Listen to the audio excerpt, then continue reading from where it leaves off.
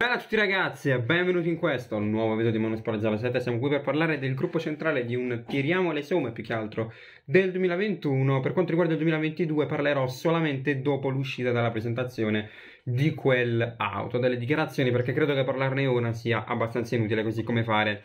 previsioni sul mondiale 2022 come hanno fatto in tanti. Ma non perché non la voglio fare ragazzi perché più che una prediction sarebbero le sparate diciamo così un video intitolato delle sparate starebbe meglio piuttosto che un video intitolato Prediction 2022. Certo, magari alcuni lo dicono nel video stesso, poi gli altri sono liberi di fare quello che vi pare. Io vi spiego il perché io preferisco non fare video per ora sulla prediction perché senza i test, senza delle dichiarazioni, insomma, vedo troppa foga forse su Ferrari, troppa foga sul fatto che Mercedes e Red Bull abbiano failato il crash test, cioè ragazzi un po' troppo un po' troppo di troppo, ecco ragazzi, se ne parla veramente tanto, ma se ne parla su dettagli, perché secondo me non ha senso parlare di crash test falliti, non è che la Ferrari va bene solo perché li ha iniziati, anzi, se fallisci il, cra il crash test vuol dire che la macchina ce l'hai al limite e quindi se lo fallisci vuol dire che magari devi correggere solo di poco. Cioè, non so se mi spiego, ragazzi. Quindi io in questo momento aspetterei a trarre conclusioni. Per il momento faccio solo un tiriamo le somme e di cosa ci possiamo aspettare perlomeno da fonti un po' più, diciamo, sicure per il 2022. Più sicure nel senso in termini di power unit, ragazzi. Perché quella non cambia, il resto comunque cambia praticamente tutta la parte aerodinamica. Incomincio col parlare di, dell'Aston Martin, perché in questo video andremo a parlare di Aston Martin, Alfa Tauri Alpine. Aston Martin che è quella che mi intriga più parlarne, nel senso...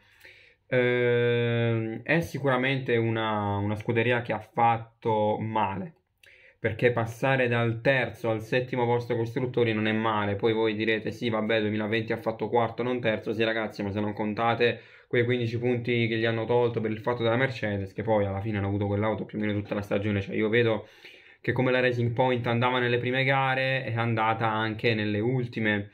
Quindi sinceramente non so sta cosa di togliergli 15 punti o meno perché l'auto secondo me è cambiata sostanzialmente poco, anzi Perez gli unici due podi che ha fatto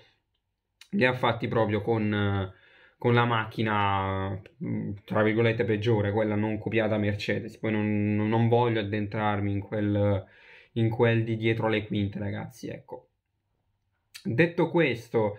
eh, l'Aston Martin 6 è, per, per, quanto riguarda Stroll, Stroll ha fatto quest'anno 9 piazzamenti a punti, di cui 6 nelle prime parti di stagione, mentre Vettel ne ha fatti 3-3, con la differenza che i primi 3 sono stati quelli molto diciamo sostanzialmente più importanti, anche perché nella prima parte di stagione la, la, la Aston Martin era in piena lotta per il quinto posto costruttori, era solamente a meno 5, meno 6, una cosa simile, e ha finito con l'arrivare praticamente a meno 80, una cosa secondo me inammissibile.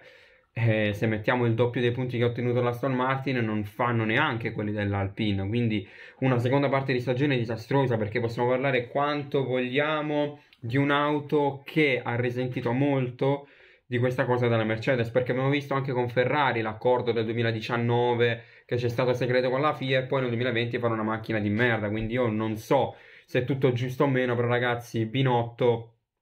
non credo sia così incapace da prendere la macchina del 2019 portare la stessa, eh, lo stesso telaio aerodinamico sostanzialmente ma dal punto di vista del motore una, da, una drastica eh, diminuzione in velocità. Quindi riuscito, sei riuscito a peggiorare sia una cosa che un'altra, quindi non, un ingegnere non penso che arrivi fino a questo punto. È vero che magari in Ferrari abbiamo le scimmie a fare le strategie, ma ripeto ragazzi, non credo minimamente fino a questo punto. Poi non so, ognuno può credere quello, quello che vuole. E quindi secondo me nel 2021 la, la Aston Martin sicuramente nella prima parte di stagione ha pagato questo però comunque era a livello di Alpine, eh, di Alpine Alfa Tauri, non a livelli di McLaren e Ferrari che correvano uno sport a parte nel gruppo centrale, però comunque erano più o meno a quei livelli lì, a volte se la giocavano anche, poi eh, soprattutto con Monaco e Azerbaijan, Vettel ha fatto vedere dei bei sorpassi, quindi la, l'Aston Martin era veramente un'auto performante, poi nella seconda parte di stagione non sono stati portati sviluppi,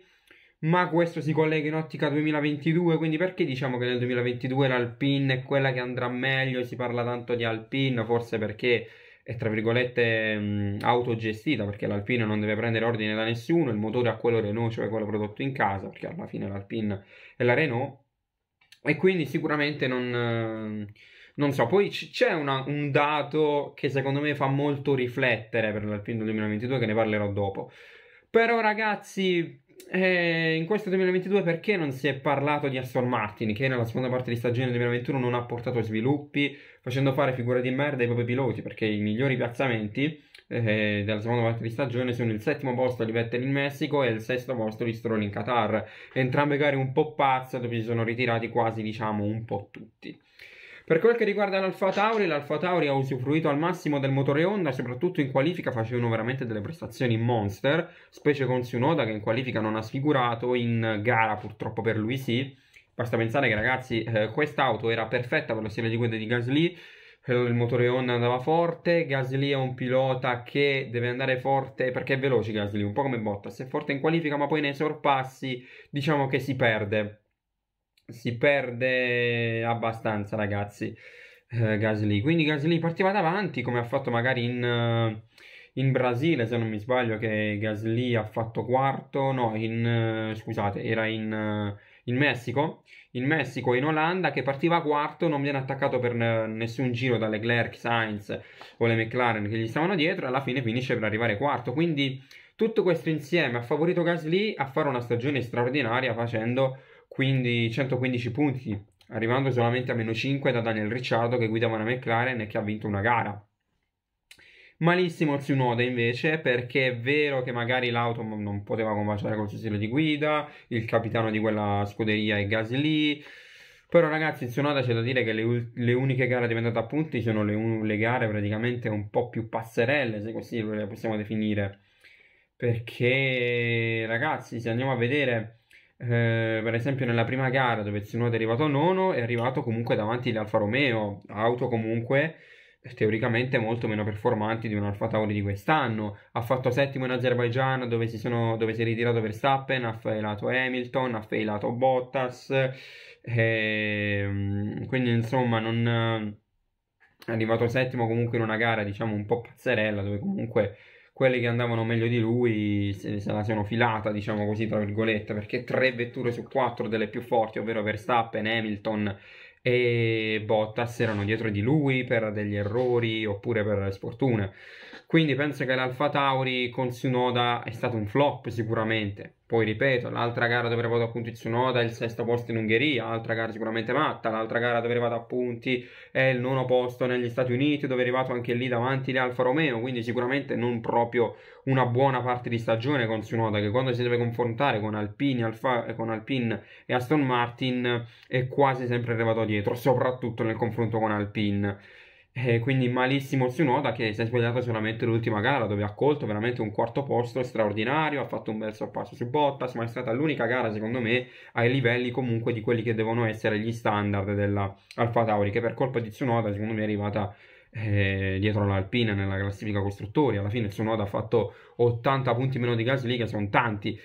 Consistenza invece per quanto riguarda l'Alpine che è arrivata quinto nel campionato costruttori battendo proprio l'Alfa Tauri, ma l'ha battuta con la consistenza perché ragazzi eh, Alonso e Ocon hanno fatto una grandissima stagione tutti e due, soprattutto Alonso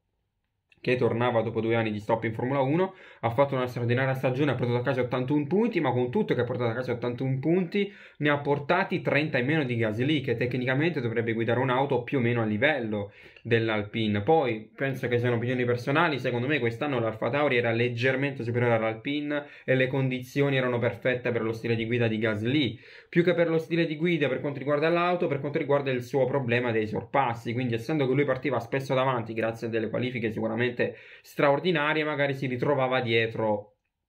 e non riusciva a rimontare, come magari è successo nel Gran Premio di Arabia Saudita, dove si aspettava veramente tanto da Gasly in, in Qatar, non Arabia Saudita, scusate, poi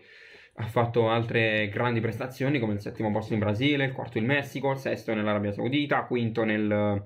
quinto nell'ultimo Gran Premio in Abu Dhabi, quindi sicuramente una grandissima stagione.